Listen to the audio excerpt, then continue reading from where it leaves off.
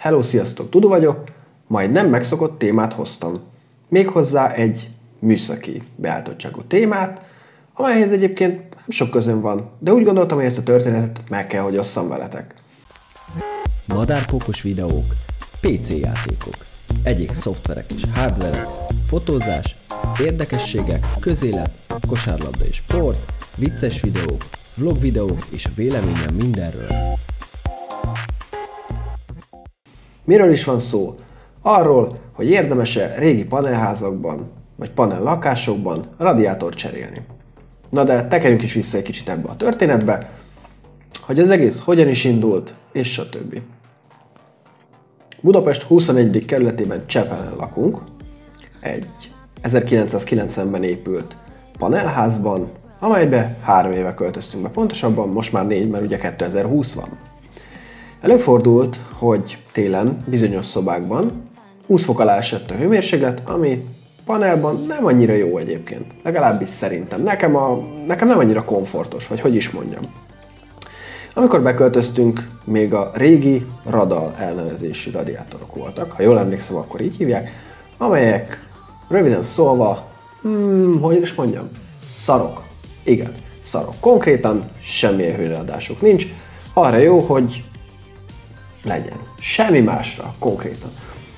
Úgyhogy erősen elgondolkoztunk azon, hogy érdemes-e cserélni a radiátorokat valami újabb típusra esetleg, vagy így egy teljesen újra, illetve té- tényleg, hogy érdemes-e.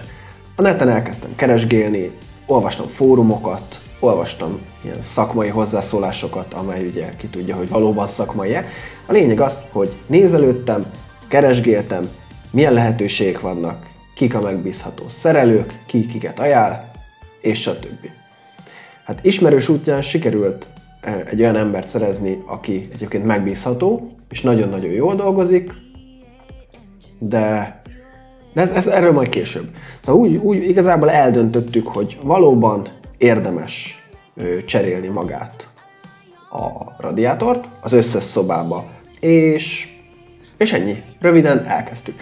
2019 nyarán, amikor leeresztették a fűtést, mert itt általában csak olyankor lehet cserélni radiátorokat, legalábbis a panelházaknál így szokott lenni, vagy lehet kérni, hogy engedjék külön le, de az ugye plusz pénzbe kerül, amit egyébként az emberek nem szeretnek megfizetni, illetve minek, amikor van neked 2-4 heted, hogy amúgy is kicseréld a radiátorokat. Szóval amikor leeresztették a fűtési rendszert, a vizet a fűtési rendszerből, akkor kicseréltettük a fűtőtesteket egy modern, helytakarékos, nagyon-nagyon vékony ö, fűtőtestre. Olyan fűtőtestet kértünk, aminek a hőleadása egyébként, vagyis hát a hivatalosan, ami megfelel minden szobában méretre, stb. És igen, már a fűtési időszak megkezdése első napjaiban is lehetett érezni, hogy ezek a radiátorok működnek.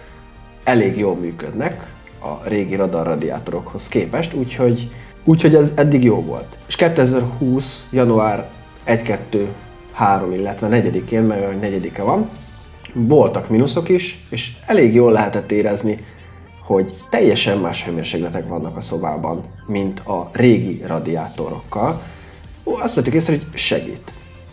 Sokat olvastam a neten, hogy valóban megéri cserélni, mert valaki azt írta, hogy nem éri meg cserélni, mert nem tudom hány százezer forint, meg milyen radiátor, meg alumínium, meg acél, meg stb. Ezt meg kell tudni, hogy a rendszerben mi az, ami beillik egyébként. Mindenképpen meg kell érdeklődnöd.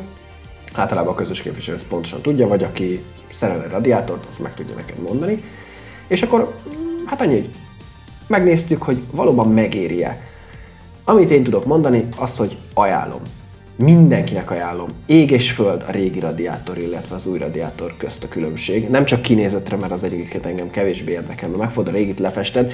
Tény, ez, ez modern, ez szép, ez, ez, ez ugye ilyen vékony cucc, de olyan hőmérséklet leadása van, valami eszméletlen. Szóval tök jó úgy ülni a szobában rövid ujjúba, pólóba, hogy mondjuk olyan 20-23 fok van.